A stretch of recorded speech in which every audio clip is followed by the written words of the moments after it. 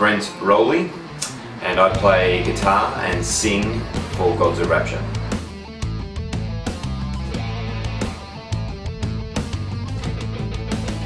Okay, so um, Benjamin Kidd plays guitars and does some backup singing as well. Benjamin Duday, he, uh, he plays the bass like, like a motherfucker, yeah. Uh, and um, we've got a drummer, I can't remember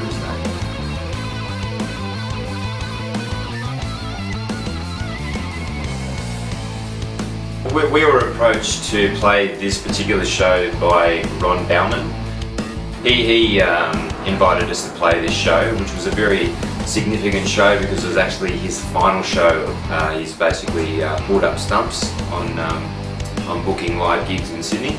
Being that it was his final gig, he wanted to make it extra special, so he uh, asked if we would be willing to donate all proceeds from the night to the Starlight Foundation. And uh, we did, in the end, uh, we raised $1,065 for the Starlight Foundation, which is awesome. Um, we've got a bit of a grassroots following. Um, uh, we're definitely not a uh, widely well-known band as yet. Uh, we're not getting played on the radio uh, all that much, if at all. um, so we're, we're, known amongst um, our friends and, and some of the some of the local scene. I did some research onto, um, went onto the uh, Starlight Foundation website and there's this amazing story there by a young guy named Adam. And um,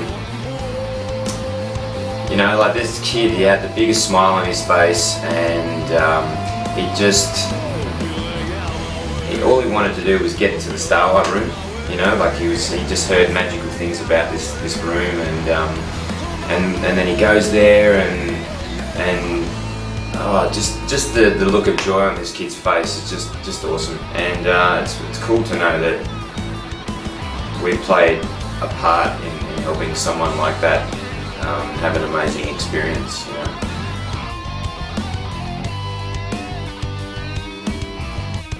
Look, I, I, don't think I, I, don't I don't think you can have a greatest achievement. You know, um, I think life is a series of great achievements.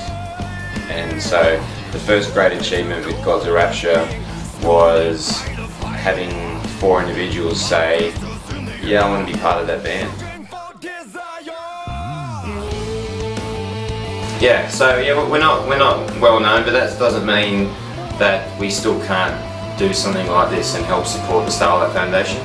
You know, just because we're not well known, and this is this message goes out to to all the bands out there as well that you know you're, you're only making peanuts at some of these these gigs um, but it's even though it's peanuts to you as a band you think you want to make a million bucks you want to do all this and that you can you can help a, a young kid like Adam have an, an, experience that will change their life you know and, and we can do this together right now you know um, if, if um, bands did this more often and, and, and, put on these charity events like what Ron's been doing, um, maybe it would help revitalise the industry because they could see that we're not just a bunch of bum musicians, that we're actually giving more than our music to the community. We're giving we're giving our heart and soul in, in other ways, you know. So I think that's really cool.